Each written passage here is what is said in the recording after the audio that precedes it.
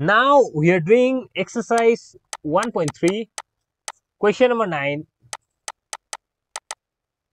Roman number 4 root 5 plus root 3 divided by 4 minus root 15 4 minus root 15 this is also similar to the previous three questions. Okay the questions are all the similar questions are there.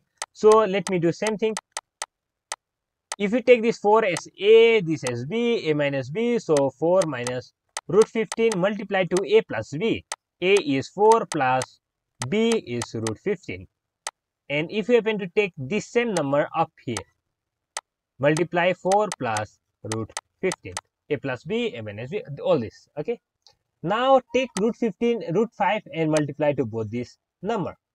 This to both this number and root 3 to both this number.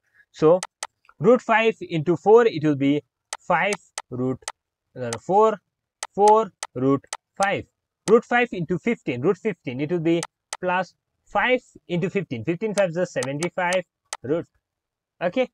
Plus 4 into root 3 it will be 4 root 3 4 into root 3 15 into root 3 15 through 45 root over 45 i hope this much is clear to you a minus b a plus b it will be a square minus root 15 b square. 4 root 5 plus 75 plus 4 root 3 plus root 45 and divided by all this number. Now what we can do let me check it out.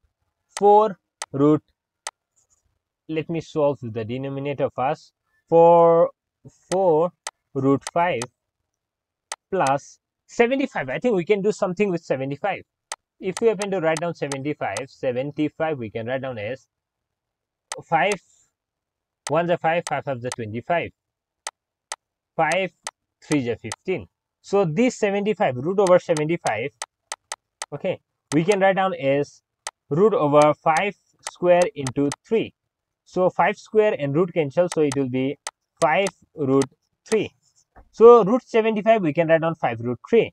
5 root 3 plus 4 root 3. This root 45 also I think we can write something like somewhere like this. So let me check it out. Root 45. Let's check. Again. 45.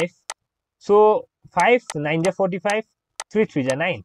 So root 45 we can write down as 3 square into 5. So it is 3 root 5.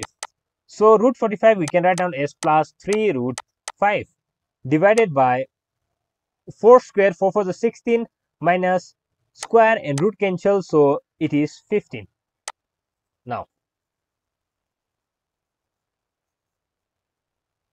now I can write down something like this 4 4 root 5 plus 3 root 5 it will be 4 5 6 7 root 5 5 root 3, 4 root 3, 5, 4, 9 plus 9 root 3 divided by 16 minus 5 it is 1 so no need to write. So the answer is this one. I hope this is also correct. Question number 9 Roman number 4 7 root 5 plus 9 root 3. Thank you so much. We'll meet in the next video.